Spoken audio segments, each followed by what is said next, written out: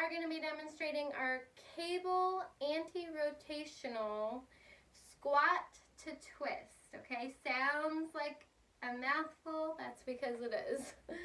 Essentially, the movement though is a little bit easier. So I've already got our anchor hooked up. It is a little low, but I don't have anything else in my office to demonstrate.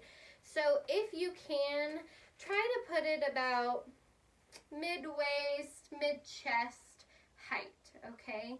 Uh, doesn't matter too much, but it does feel a little bit better form-wise. So uh, anyways, you want to position the uh, attachment away from you to the side. Okay, so here I am.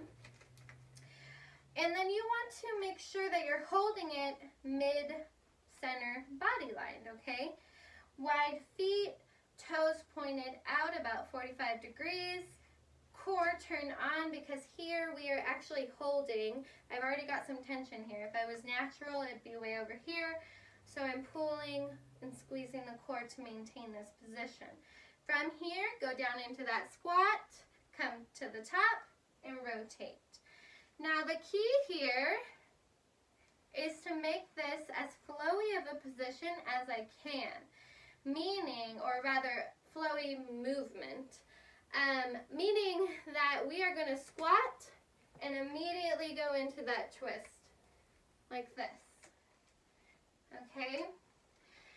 The reason for that is this movement is designed, at least in this program, for more cardio-based things.